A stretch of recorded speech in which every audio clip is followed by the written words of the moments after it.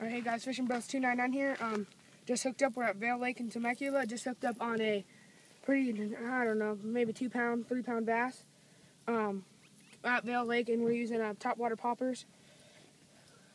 see if I can get this guy out. Hold on. Um, yeah, good morning. Caught two on top water, and my friends caught two on top water so far.